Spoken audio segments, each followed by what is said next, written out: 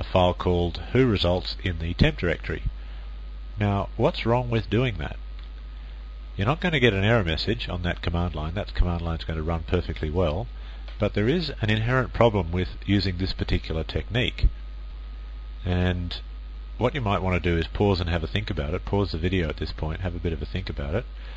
And I'll give you a hint if you're having trouble. And what if this was a very commonly used script? That's your hint. So perhaps again, pause the video and have a bit more of a think about that. Okay, did you come up with an answer? Well, here's the problem. There actually may be many people running the script at the same time, in which case they'd all be running the same line of code, which means that several people would be trying to write their details, whatever those details happen to be, to a file in the temp directory called who results and somebody else might be deleting the file because the shell script may go on and delete the file a bit later on. So someone may be deleting the file while the other person has just written to it, and well, all sorts of errors can come up. As you can see, we might have several people all trying to deal with the same data and all thinking that it's different data. So what's the answer to this? How can we actually come up with a name for our temporary file that is guaranteed to be unique to this instance of the script that's running. This is a tricky one. I don't expect you to know the answer, but you might like to have a bit of a think about it.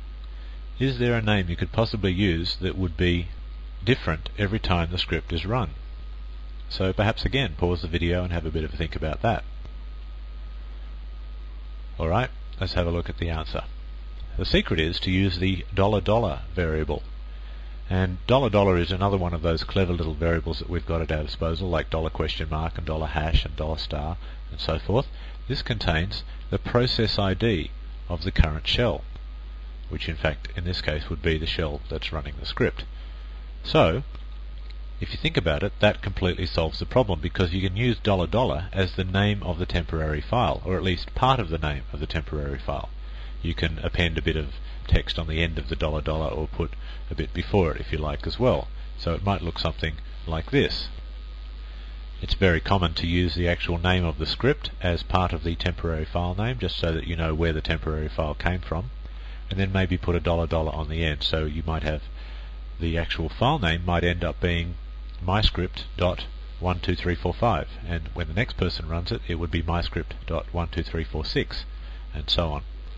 And if you think about it, that does indeed completely solve the problem because there's no way that the same process could be running the script twice simultaneously. So that's pretty much all I want to say about that. You can the program dies. Well, it usually dies. It doesn't always die, and I guess in this module I'll be explaining why it doesn't always die. I'll actually give you the knowledge to design your program in such a way that you can do anything you want if someone tries to kill you. First we have to understand what actually it is to kill a process, what it means. Well, what actually happens is when a process is killed, that process is simply sent a signal. A signal is also often known as a software interrupt. And then what happens is, if that process is not designed to handle that signal, and most processes are not designed to handle signals, then that process simply terminates. But it is, as I just mentioned, possible to handle any signal if you simply know how, and that's what I'm going to show you in this module. So any program, which of course includes any shell script, can be designed to handle signals and do meaningful things with them. So why might you want to handle a signal? Well, I can think of three possible reasons for wanting to handle a signal. The first is to prevent the program from terminating. In other words, you may not want to terminate the program on, upon receipt of a particular signal. It may be vitally important that your program keep running, and so you would of course want to make sure that all signals that could possibly be sent to your program are essentially ignored. Secondly, you may actually be quite comfortable with the program terminating, but you don't simply want to abort the program. You may have a collection of temporary files that are open and being used. You may have even connected to a database or something and need to disconnect from that using a particular command. In other words, just restoring the system to a known good state. So what you would do then is when you re- receive the signal, you would in- initiate the process of cleaning up all your temporary files, logging off the database, or doing whatever it is that you need to do to get the system back into a good state, and then deliberately and purposefully exiting yourself. And the third reason is you may actually just want to perform some custom action upon the receipt of a particular signal. There are many signals that a process can receive, many different types of signals. And you may actually want to take advantage of that and say, okay, whenever I receive this signal, it means I'm supposed to do this particular action. Which means, of course, that you can then use signals as a form of inter-process communication. Which means you might have a shell script that's running, it might have been running for a while, and you wanted to do a particular action. And so you can do that from um, any terminal on the system, you can simply send that particular shell script a signal, a particular signal, and that that shell script will perform the custom action that has been designed to do when it receives that signal. So essentially you can communicate with that running shell script from anywhere, which is very handy to be able to do that when you think about it. So I need to mention all the different types of signals that are available I'm not going to go through all of them because there's a great deal of them and they actually vary from one Unix to the next. There's typically over 20 of them and most of them you'll never see ever in the course of your programming life. But there are a few that do occur reasonably often and I'll tell you what they are and when they typically come up. The first is signal number one, which is what we call the SIG HUP signal, which HUP is short for hang up. And that occurs whenever the user's terminal is disconnected or the login shell is terminated. And that can happen when the modem hangs up that you're connected to, or a telnet session's interrupted, or network goes down, or your terminal becomes unplugged, or whatever. So what happens then is that every process that's running in your process group, in other words, every process that has been started by your login shell, will receive a hang-up signal. And what they will typically do is simply exit it's like, well, the terminal's been disconnected, so there's really no point in keeping this program running, so they exit. The second signal is signal number two, SIGINT, and the int is short for interrupt, which occurs whenever the user presses the interrupt key on the keyboard. And the interrupt key is usually set to Control C, although it can be set to anything that you desire. Now we like to take advantage of that if we've got a program that we've just started on the command line and we decide that we need to abort it, then we can just type in Control C and it usually just exits and goes away. A program, of course, can be designed to not do that, can, to not exit when you press Control C. And I'll show you how to do that in a moment. The third signal is signal number three called SIGQUIT and it's just like the interrupt key. There's actually another key on the keyboard that does a very similar thing.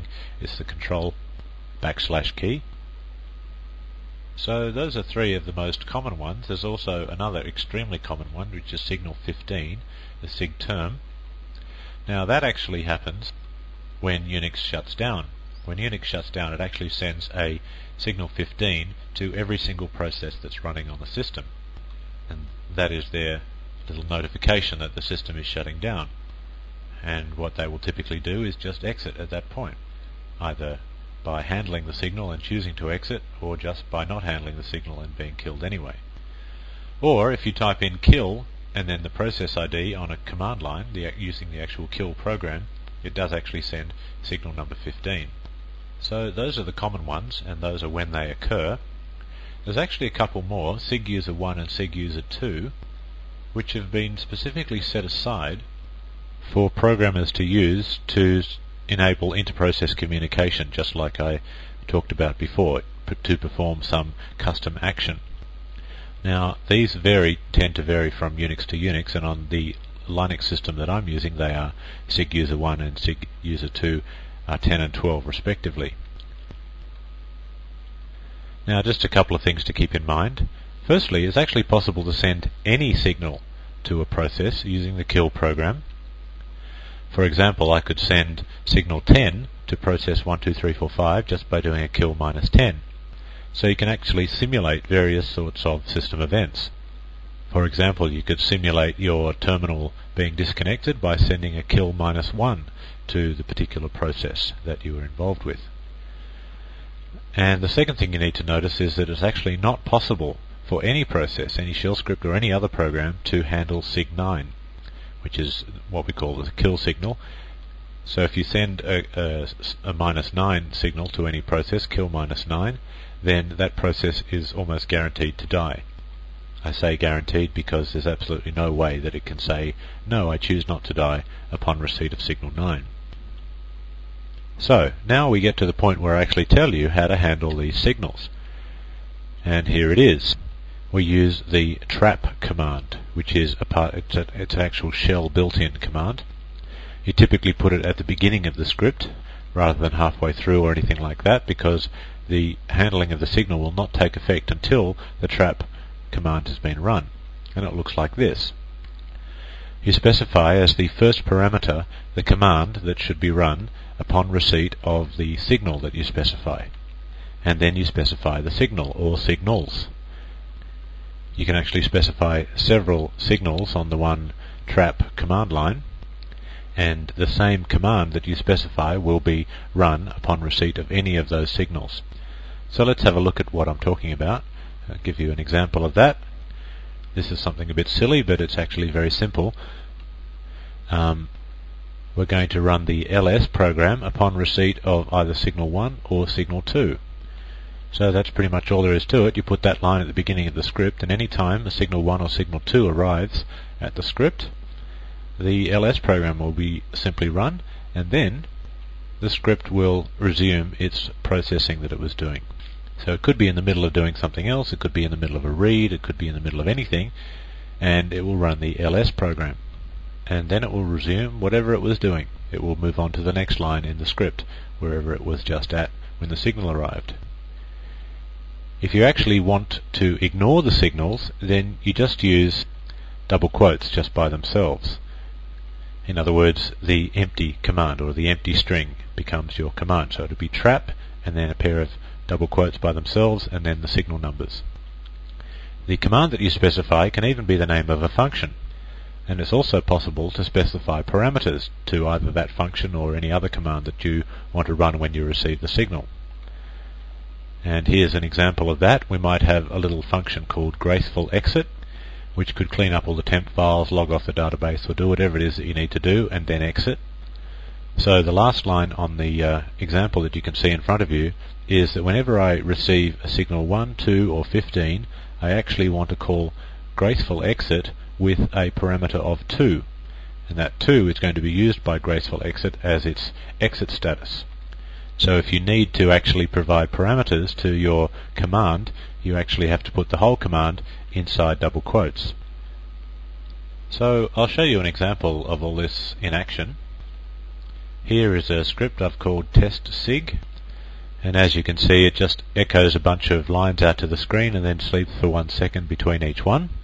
That should hopefully give me about 10 seconds to get a kill in process when I actually start the script and if I receive a signal 1 or a signal 2 then I run an ls minus c. So what I'd like to see happen is this is line 1 appear on the screen, then a second later this is line 2, then a second later this is line 3, and while they're all happening there, I'm going to be trying to kill the process. So I'll take a note of the process ID and then I'll kill it with the signal 1 or 2, at which point the ls should get output to the screen, and then it should just simply continue on with the next echo that it was going to do anyway that will hopefully prove to you that processing resumes where it left off when the signal arrived.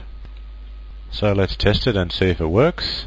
I'll quit out. Now what I'm going to do is I'm going to run test sig asynchronously on the command line so I've got a chance to type in a kill and I'll have a grand total of 10 seconds to find the process ID, type it in and see if it works. So let's do that now. Okay, the process ID is 10607 and there is the output of the LS and as you can see this is line 7, this is line 8, this is line 9, this is line 10 also appear immediately afterwards. So if you follow it down you can see this is line 1, this is line 2 it all gets a bit mixed up there because I'm trying to type at the same time and that typing comes out on the screen as well. This is line 3, 4, 5, 6, and then somewhere in between 6 and 7 I actually get the output of the ls program, chap 1, chap 2, chap 5, chap 7, chap 9 and so on. And then I get, of course, the, the rest of the echo, 7, 8, 9 and 10. So I hope that proves that it's working and that's uh, all I really need to say about trapping. Let's now do the final course exercises for this course.